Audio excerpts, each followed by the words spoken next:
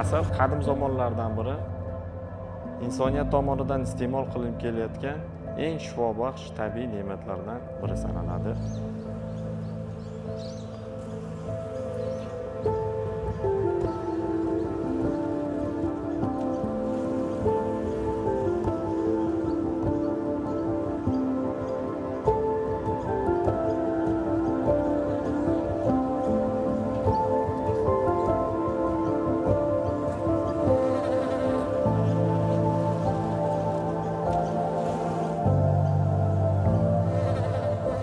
Asalarini tabiiy dori vositalari ishlab chiqaruvchi farmatsevtik zavodga qiyoslash mumkinda.